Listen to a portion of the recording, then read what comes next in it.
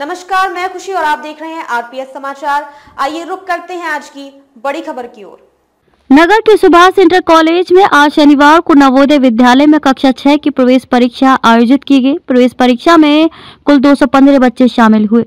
निशुल्क आवासीय शिक्षक संस्थान नवोदय विद्यालय काली मिट्टी की प्रवेश परीक्षा में कक्षा पाँच में शिक्षारत कुल 315 छात्र छात्राओं ने अपना पंजीकरण कराया था। आज शनिवार को सुबह साढ़े ग्यारह बजे से डेढ़ बजे तक एक ही पाली में आयोजित प्रवेश परीक्षा में कुल 215 बच्चे परीक्षा में सम्मिलित हुए। परीक्षा देने आई छात्रा अदिति सिंह ने बताया कि पेपर सरल रहा और प्रश्न पत्र में पड़े हुए ही सवाल आए। छात्रा ने यह भी बताया कि उसे आवासीय नवोदय विद्यालय में प्रवेश हेतु सफलता अवश्य मिलेगी। इसके अलावा अधिकांश बच्चों ने प्रश्न पत्र को सरल बताया। कॉलेज के ही वरिष्ठ शिक्षक राकेश शुक्ला द्वारा प्रवेश परीक्षा पूर्णतः नकल विहीन संपन्न कराई गई। रिपोर्ट, जमीर खान।